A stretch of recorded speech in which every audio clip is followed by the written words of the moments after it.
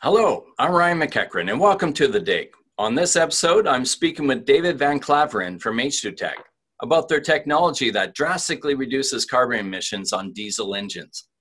But first, we have our own Stephanie Alvarez to share some important information with us. Hi, Steph. Glad to have you back.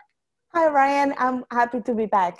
MSTA Canada, in partnership with the Trade Commissioner Service Tokyo, is developing our first virtual Japanese trade mission in November of this year.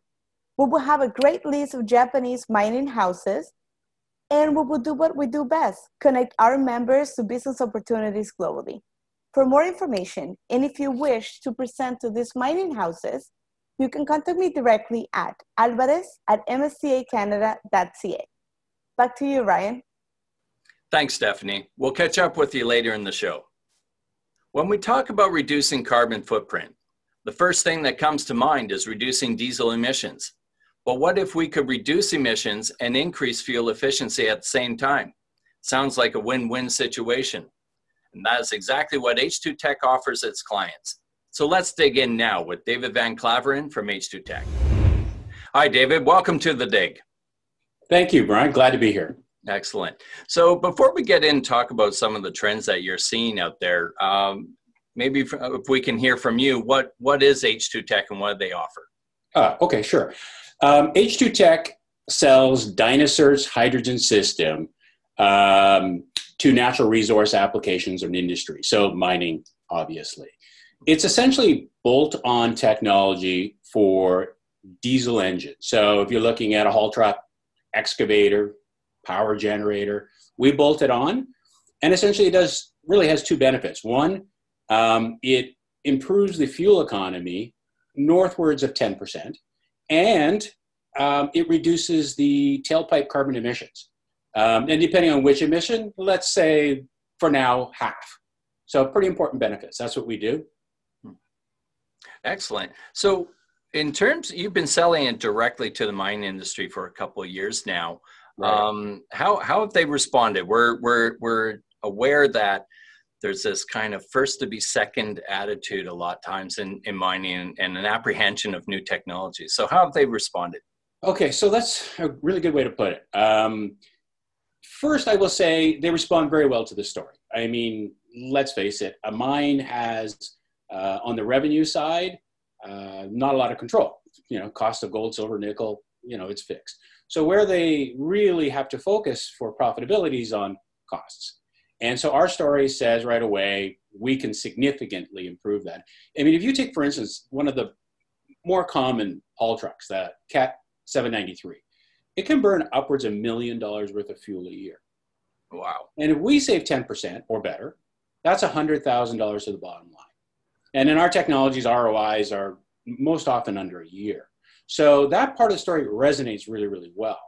Um, and of course, you know, with mines and, and industry being concerned with CSR today, uh, the whole idea, uh, it's topical, of course, to um, invest in or, or investigate opportunities to reduce your greenhouse gases. So the story resonates really, really well. But you sort of you sort of said it. You know, everybody wants to be what, first to be second. Or, mm-hmm. So um, innovation, by definition, is new. And new equals risk. So, you know, when we're looking at anything innovative, um, you know, the story, of course, has to resonate with whatever technology you have. It has to have the benefits, you know, and the reward for the, and the rewards for the cost. But you really do need to deal with risk. So there's a, there's a whole number of steps that have, need to take place where you know this is considered in these operations, and it takes time. So nothing's quick in the business, but the story resonates really, really well. And that's interesting that you that you're saying that. I, I it makes sense to me when I first heard about your technology and to the point of what people are looking to do in the industry. One of them reduce their carbon uh, footprint. Uh, it just made sense. So globally, where where are you seeing the uptake on this technology? Uh, if you can expand okay, on that. So um, interestingly enough, we spent uh, a, a, lot of effort in the first couple of years in South America. Mm-hmm. Um, and uh, I think there is a sensitivity in, in, in those countries uh, about carbon emissions and, and the environment and so forth. And we know they've also had some problems in the country, big high profile problems. So, um, um, so a lot of a lot of work has gone there. But I think it's kind of interesting um, that a really unlikely first market was Russia. Uh, really? Yeah. So I know, same here.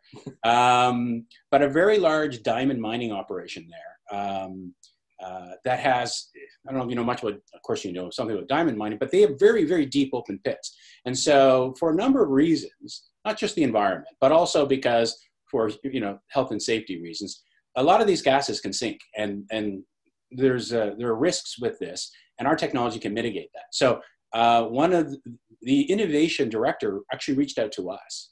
And we said, look, we're not in Russia yet. Uh, we're focused in South America, North America. And they said, we can overcome that. We're highly interested. So after a year, we have uh, a couple trials going on, one with a, a, very large diesel generating company they own, and the other with a very big uh, mine in um, north of the Arctic Circle. So, um, so that's kind of an interesting first, you know, market and not to take anything away from the other markets, which we're, we're progressing very well in as well.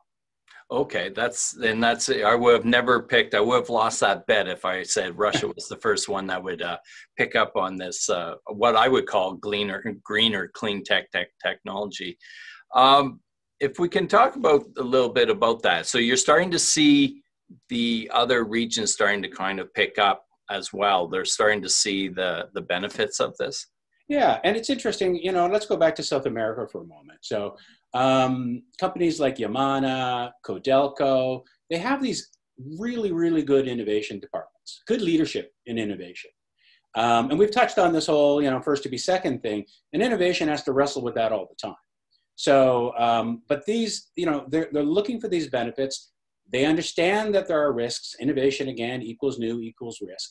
Um, so, you know, we're finding that that this emphasis now on uh, using innovation to improve operations, drive profitability, reduce costs, things of that nature, uh, is a great um, aspect for us to, to lever in, in a number of countries, including, of course, South America. So I think that has been um, a, a, clear advantage for us to, to focus on those folks. And they, of course, realize, like I had said before, you know, risk needs to be managed. So now you got to deal with the operations groups. You have to deal with um, the health and safety groups, the maintenance groups, and so forth and so on. Um, but we're finding that the drive for innovation to lower costs, uh, also meet some of these uh, CSR uh, mandates, initiatives, priorities, uh, is really helping us get the kind of traction in South America. So that's really working for us. Right. So how, how are you handling that that risk management, if you will, in your value proposition. Right. So um, again, it's kind of like you know circling the wagons by way of an analogy. So the wagon is the risk, and and you want to you remember and you want to resolve that. Everybody wants the benefits. Look, we all want to save millions of dollars in, in costs, and we all want to be responsible. Um, you know, and and by the way, it's not just being responsible. If I just may tack on something here. Mm-hmm. Uh, there is a financial uh, uh, aspect to carbon um, in various countries, carbon tax, you know, other sort of carbon uh, initiatives where mm-hmm. companies need to respond or pay a price.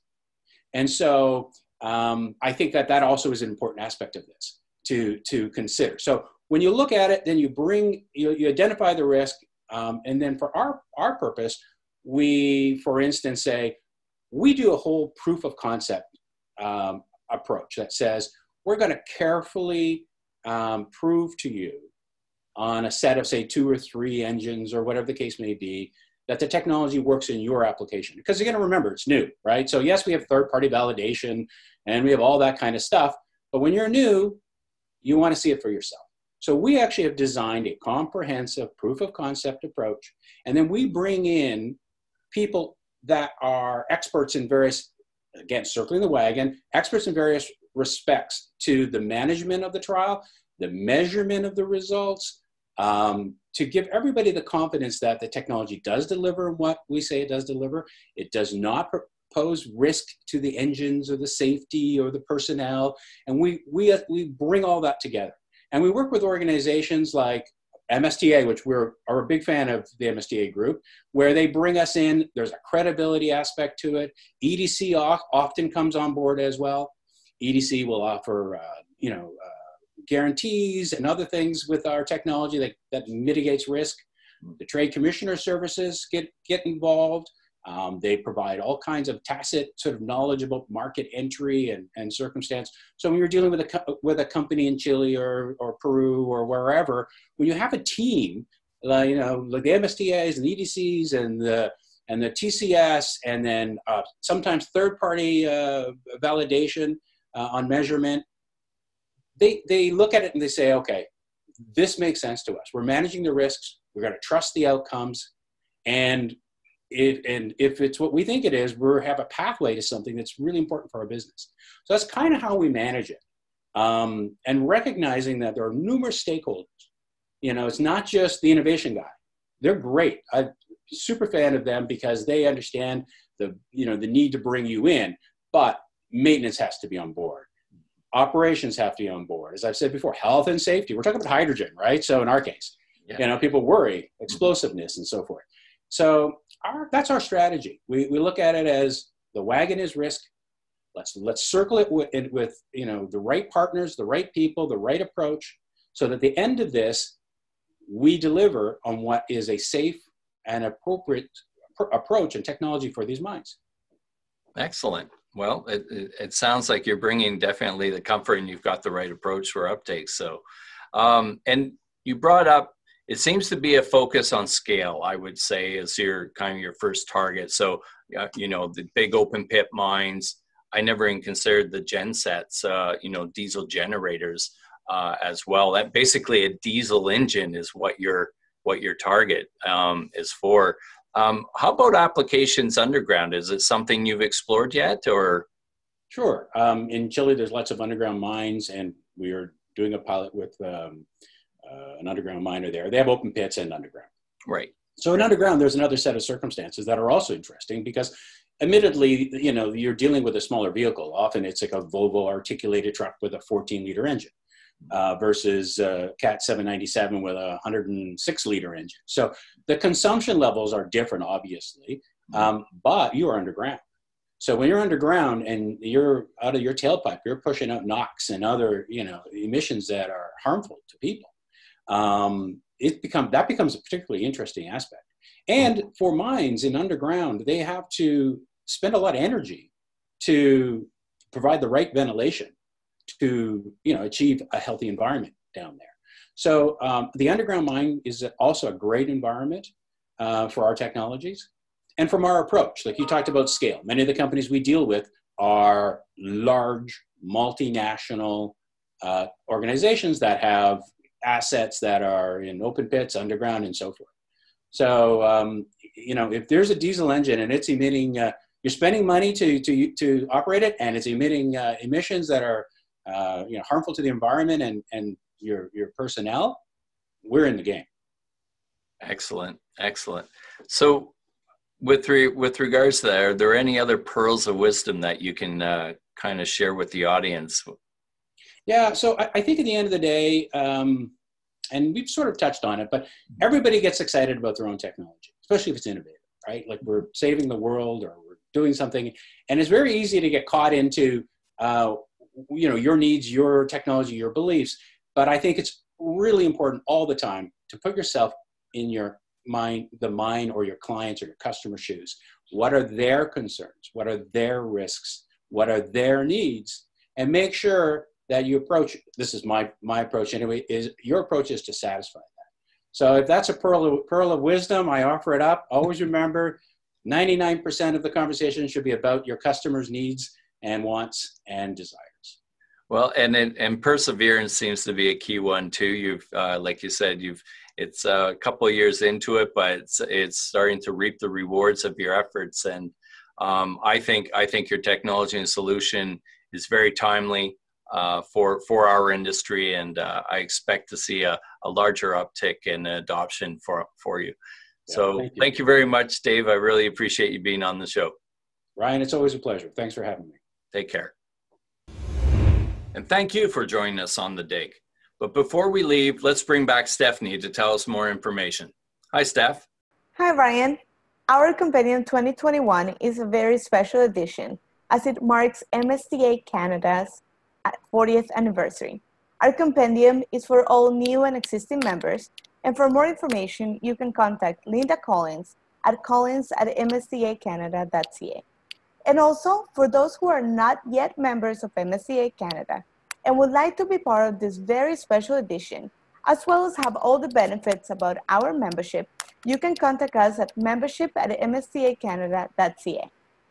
Have a great rest of the week. Thanks, Stephanie. And I might add, it's also the 25th edition of the compendium, so it's quite the milestone year for us. So until next time, I'm Ryan McEachern. Take care and stay safe.